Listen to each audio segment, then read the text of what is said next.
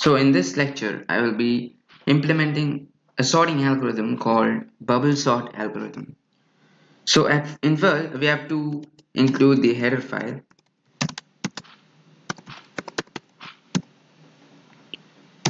And then what I'm going to do is I'm also going to include string. I'll tell you why I'm including string. And then I'm going to include namespace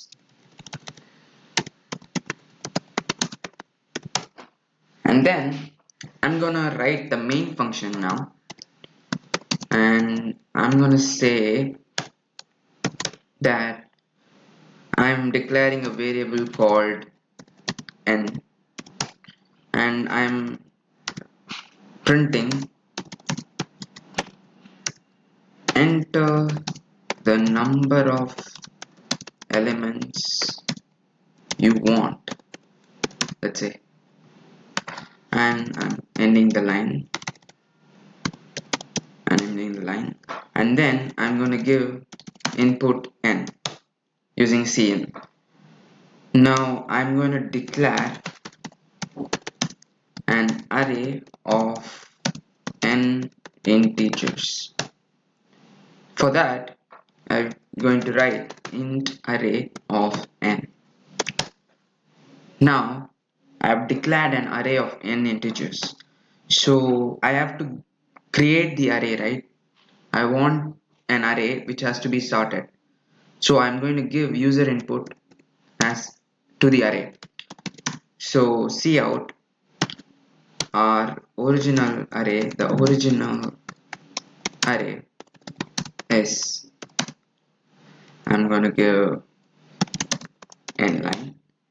And then I'm going to iterate over what I am going to give as input. So for int i equals 0, i less than n, and I'm going to give, I'm going to increment i, then I'm going to give user input the array of i. So I've declared an original array, I've declared an array of n integers, and I'm going to say I'm going to give the original array which which we want it to be sorted. And I'm going to iterate over the array and I'm going to provide or give input array elements to the original array. Now what I'm going to do is perform the sorting function. So I'm going to perform bubble sort. So for that I'm gonna implement a function called bubble sort. Bubble sort of I'm going to pass two parameters array and n into this. And then I'm going to end it. So I have to perform a function right? So I have to write a function. So I'll come up here and I'm going to tell void bubble sort of int array. I'm going to pass an integer array as a parameter and I'm going to also pass another variable n as the parameter now what I'm going to do is I'm going to implement a for loop for iterating over the array. For int i equals 0, i less than the n minus 1th element, I'm going to increment i. And next, I want to include another for loop which is a nested for loop and I'm going to say int j equals 0 I'm going to say j less than n minus i minus 1 plus plus j or increment j. So what I've done in this, what is the meaning of this? So basically we created a nested loop that iterates over the array from the first element to the last element before the last i elements. So that is the meaning of this line so what we are doing is that we are we want to avoid unnecessary comparisons with already sorted elements. We don't want to keep on comparing with already sorted elements. That is waste of time and uh, so we are implementing n minus i minus 1 in this. So next what I have to do is I am going to give an if statement saying that if the array of j is greater than the array of j plus 1 which is saying that if my current element is greater than the next element then I have to switch it. Then I have to swap it. So what I'm going to do is I'm going to declare a variable called temp and then I'm going to assign it to j. To the, to the current element which we have which we which is greater than the next element. Now what I'm going to do I'm going to tell array of j should be set to array of j plus 1 which is the lesser element. Now what I'm going to do is I'm going to tell the array of j plus 1th element which is array of j plus 1 should be equal to the temp which is the greater element. So yeah now we have performed the swapping function. So now so now what we have to do is I'm gonna print the sorted function sort sorted array we have sorted the array. Now we have to see our sorted array right? So for that I'm gonna write cout and I'm gonna give some line. The sorted array the sorted array is I'm gonna tell then I'm gonna give a line.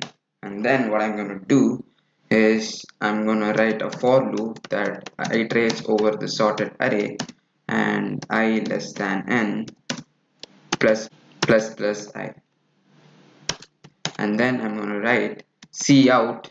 We want to we want the sorted elements. We want right? So array of i. And then I'm going to give suitable space here for better viewing. And then what I'm going to do is I'm going to return 0 because we have used int main. So yeah that is the function. So I'm going to print this now. I'm going to execute this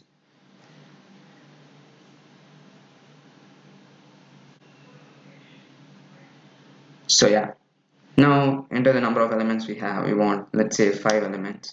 I'm gonna give three six four. And then I'm gonna print the sorted array. Yeah. So this is the sorted array we want. So yeah we have implemented the bubble sort algorithm. Hmm, I've included a string right? Why why have I included a string? Okay. So now we have passed integer array. Only we can pass integer elements into the array.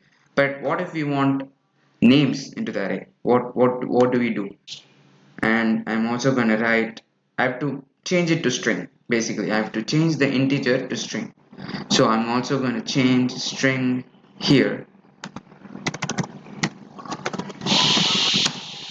And then what I'm going to do is check for if anything else I have to change string array string array.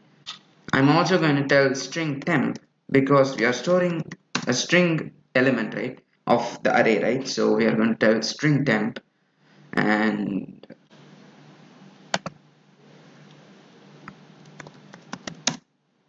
and yeah string array of n. I've declared an array string array and then I'm gonna so now we have the number of elements which we want let's say five again. I'm gonna I'm gonna give some names. I'm gonna say Dylan and I'm gonna say Michael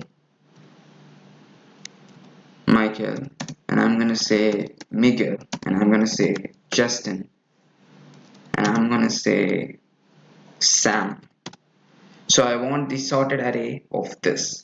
How do we do that? And I'm also I'm also going to I'm going to remove Sam and I'm going to give some Aaron let's say. I'm going to give Aaron. So we want the sorted array of this. So yeah we have the sorted sorted array. So so this is how we start names and in the previous example we saw how to sort numbers in an array. But now we saw how to sort and names in the array. So yeah. So so hope you guys enjoyed this